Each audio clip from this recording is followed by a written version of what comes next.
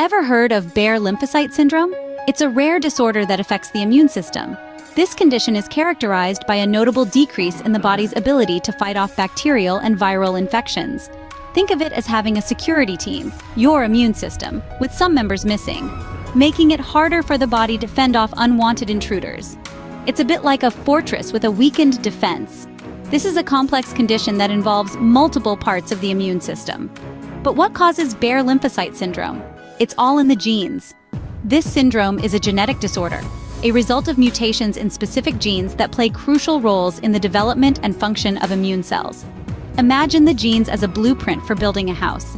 If the blueprint is flawed, the house won't be structurally sound. Similarly, when these genes mutate, they disrupt the normal production of immune cells, the body's key defenders against disease.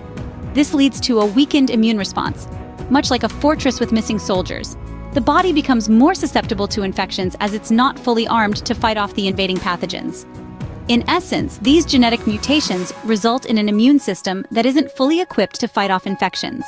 Symptoms of Bare lymphocyte syndrome can vary, but there are some common signs. Among the most frequent are recurrent infections. These can occur in various parts of the body, from the skin and respiratory tract to the gastrointestinal system. Chronic diarrhea is another common symptom, often associated with these persistent infections. Perhaps one of the most distressing symptoms is the failure to thrive in infants. This means that the child doesn't gain weight or grow as expected. It's important to remember that these symptoms are not random, but result from the body's inability to effectively fight off infections due to a weakened immune system.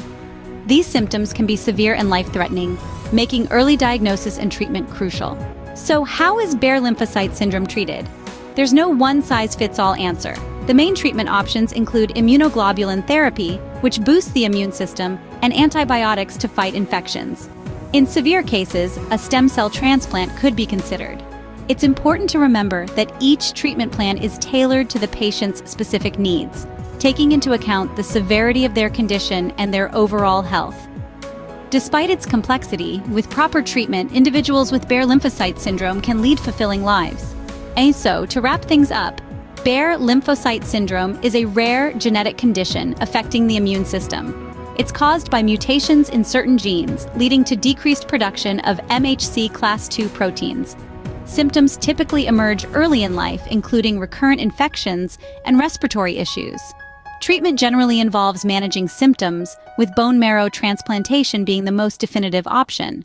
Remember, knowledge is power especially when it comes to understanding rare disorders like Bare lymphocyte syndrome.